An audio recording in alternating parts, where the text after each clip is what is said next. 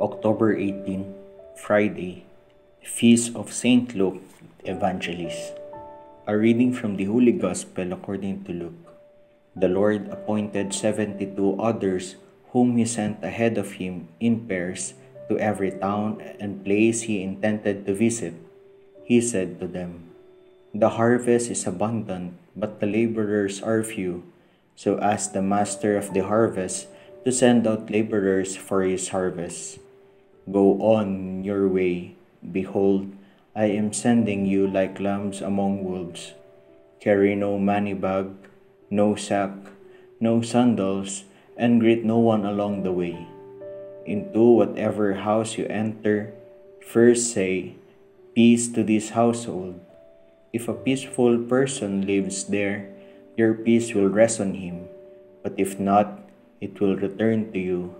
Stay in the same house and eat and drink what is offered to you, for the laborer deserves his payment. Do not move about from one house to another.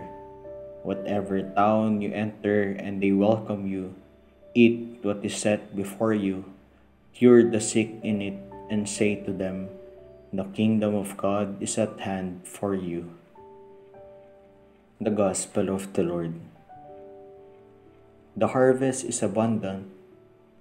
Jesus sees the enormous work in store for him and his disciples. He uses agricultural images to portray the immensity of people willing to be evangelized and healed. As Jesus sends his disciples on mission, he pictures a shepherd tending sheep and goats. His disciples will go like lambs, meek, vulnerable, and defenseless they should not go about as landlords, but as bearers of the gospel. They will echo only one message the kingdom of God is at hand. People will find them strange. Speaking of kingdom, people expect a political kingdom like that of King David. The king or Messiah does not have to be divine, but be a strong warrior and leader of armies with political power the disciples will disappoint people because they will be proclaiming God's kingdom that is developed in their hearts and minds. They are bringing in a new idea unrecorded in Israel's history.